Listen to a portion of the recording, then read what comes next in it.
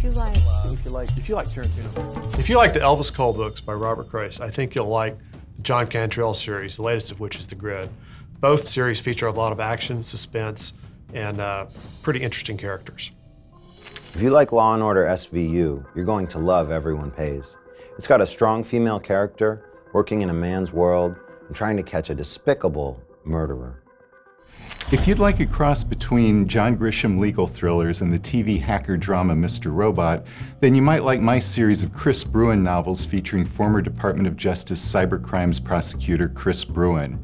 When hackers or cyber criminals have taken everything from you, Chris Bruen is the person you call to get it all back with interest.